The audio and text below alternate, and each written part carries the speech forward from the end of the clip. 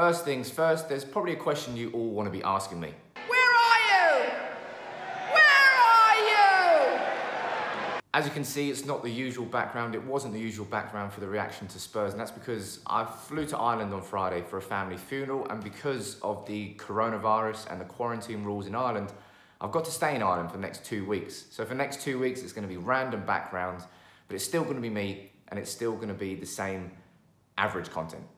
But if you want to make it a little bit less average, drop a like on the video. But let's talk about Sheffield United and what my predicted start 11 is going to be for that game, because I think there's lots of questions to ask.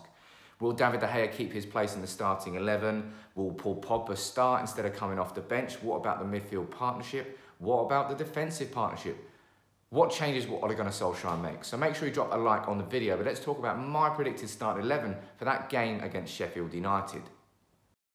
And there's only one answer. Of course, David De Gea is going to keep his place for this game. There's no way that Ole Gunnar Solskjaer, a man who is the complete opposite of Jose Mourinho in so many of his, his characteristics as a manager, he's not going to throw De Gea under the bus after one game and one mistake after a three-month break. You know, it's not the only mistake that David De Gea has made in the last however long, I don't know, at least a year, probably a bit more. His poor form is, is not just a blip, it, it, it's, it's a new normal now, um, which is worrying. But David De will not be thrown under the bus. And with Dean Henderson being ineligible for this game, he's going to be sitting on the bench at Old Trafford wanting that number one spot next season. And De Gea knows that, so he's got to show his form. Because Solskjaer's come out in the pre-match press conference and said, look, De Gea is still one of the world's, I think he said actually, that De Gea is still the world's best goalkeeper. He's backing his, his goalkeeper to improve and find that form again. And this is a game where De Gea absolutely has to do it. If he doesn't and there's more mistakes, the questions are going to keep getting asked. And the longer it goes on, the worse that answer is going to be for De Gea and his future at United. As for the defence, I've gone for Luke Shaw at left back. I think he will keep his place there. I think positionally he was out of position quite a lot against Spurs, which left Maguire quite exposed. And Maguire obviously doesn't have the pace to recover from that. I think Shaw will not get dropped. And I don't think Shaw had an overall poor game. I think going forward he was good, but because he was good going forward, he left weaknesses at the back. He needs to find that balance in that position. That's just my opinion on there. But for the defensive partnership, it was Maguire and Lindelof against Spurs. And Yvonne, who is the editor of uh, The People's Person, co-editor alongside me, she said you can't. You, have got a Rio and a Vidic. You've got a, a Bruce and a, and a Pallister. And I think she made an excellent comparison by saying you can't just have two Rios. And I agree with that. And I think Lindelof and Maguire are too similar together, and that's why I've gone Eric Bailly in this game. I think by his athleticism, his, his recovery, pace, his ability, his strength, a lot of the ways that make Maguire a good defender and the weaknesses that has, Bailly can cover for those.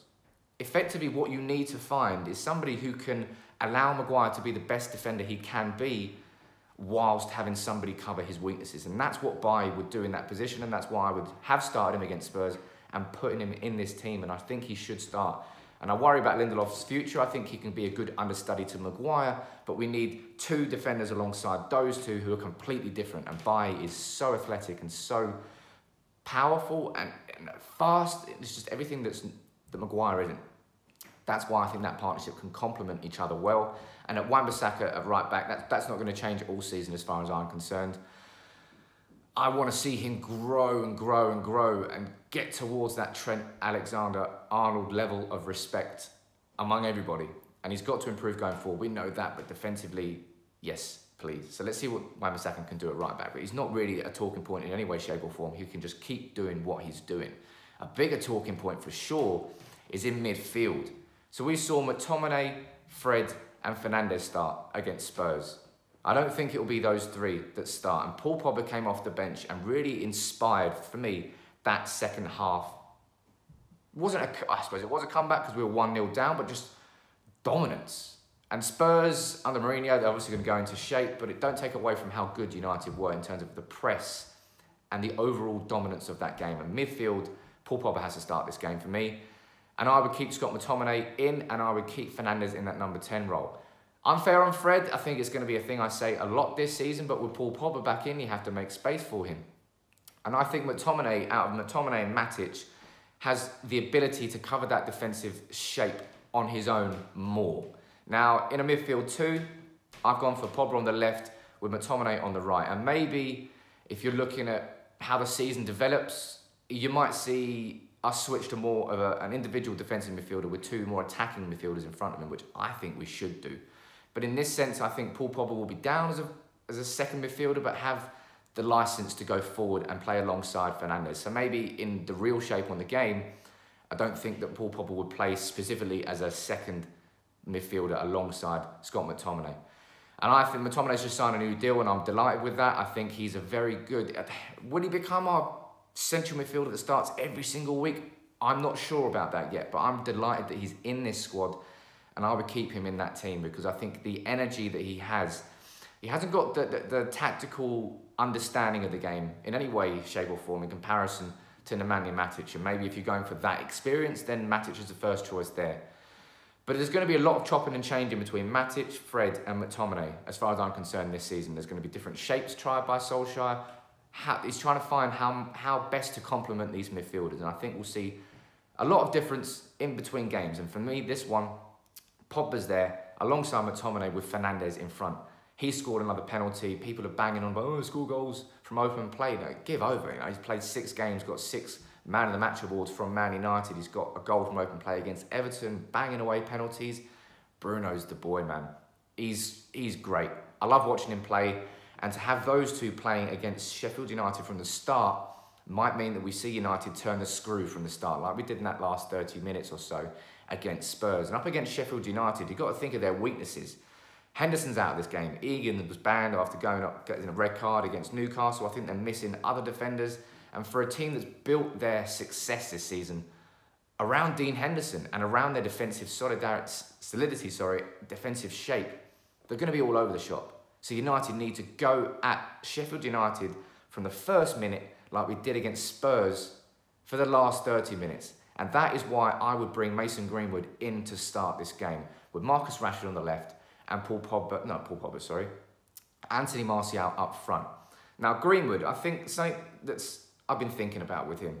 When he came into the team, burst into it, he looked like a kid. He looked like somebody who, I wouldn't say he didn't belong there, but it was so obvious that he was new to the game and he had the naive excitement of just being there. But coming back from this break, it seems like Greenwood's he just walks with his shoulders a bit further back.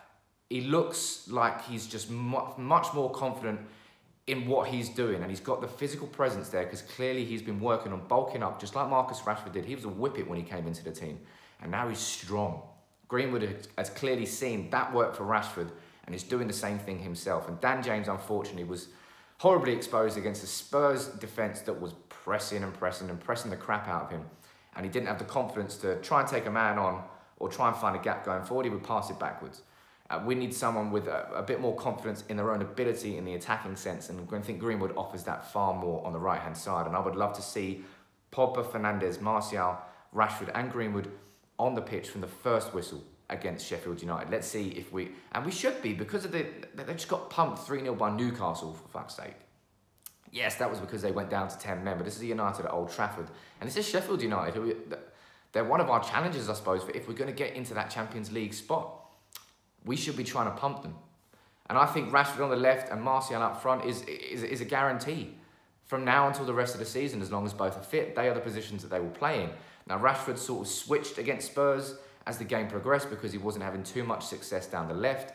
Maybe that can happen again, but with, with players like Greenwood, Rashford, and Martial, you've got a fluidity to your attack. They don't have to stay in those exact positions. They are more than comfortable in playing other positions, and they can switch if we need to.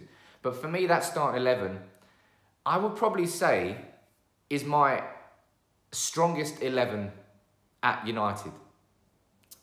De Gea in goal, Shaw at left back. Unfair on Brandon Williams? Maybe, but I, I, not yet, I don't think. And maybe that's wrong for me to say. Let me know what you think about that in the comments. But De Gea, Shaw, Maguire and Bailly as a, cent as a centre-back partnership, I think they complement each other extremely well. Wan-Bissaka absolutely there. And with a midfield three of McTominay, Pogba, and Bruno Fernandes, I don't know the exact shape that will work best for them, but for me, they're the best three that will complement each other well because McTominay will just be happy to allow Pogba and Fernandes to express themselves and give them the license and the freedom to do what they can do best. And McTominay, I think, is going to be best for, for allowing the best to come out of those two. I think Fred would, would want to join up and go alongside Paul Pogba and, and Bruno Fernandes and play more attacking, whereas and Matic is slightly older and, and just doesn't have as much to an all-round game as McTominay does. So for me, that midfield three works the best. And the front three of Rashford to the left, Martial up front, and Mason Greenwood to the right is, is hella exciting. And Greenwood actually has the ability to cut in from the right-hand side, whereas Dan James can't. He guts out and he tries to swing a cross in. And Martial and Rashford aren't really, they're not natural on the edge of the six-yard box attackers. Rashford will hang out to left. Martial probably hangs out on the edge of the box. Someone like Ighalo being on the pitch is when it would suit Dan James more because Ighalo would be in those positions and you get far more out of Dan James. I think certain players will complement other players better than others. That's normal in football. And that will happen. But for me, that front three, that midfield three, that back four, and David De Gea, that's my predicted start 11 for the Sheffield United game. And coincidentally, it's what I would consider to be United's strongest starting 11 possible between now and the end of the season. But what do you think about that? Let me know in the comments below. Sheffield United coming up next. Slight disappointment that we didn't get three points against Spurs. I think over the course of the 90 minutes, it was a fair result, edging on United deserving a 2-1 win. But this game against Sheffield United, we should be going at them. My prediction for the game you see over on, on thepeoplesperson.com. Make sure you check that out.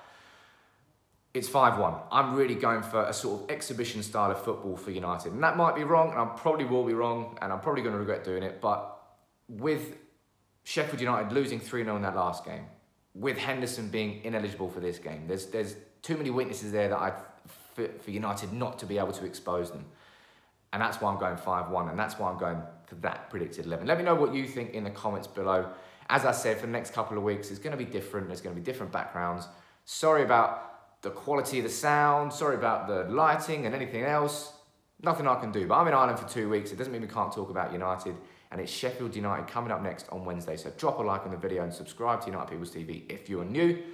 Take it easy.